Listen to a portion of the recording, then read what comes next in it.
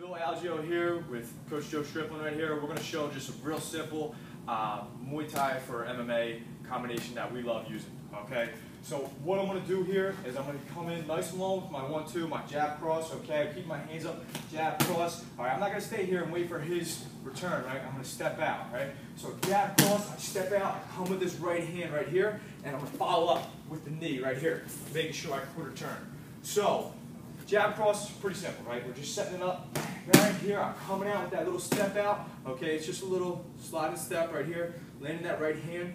From here, I'm assuming this lands. If not, whatever. I'm coming right with that, that little switch knee right from here. And again, I don't want to stay here. I want to go towards his back. So, coming here, right here. Okay, I can even land from there if I wanted to.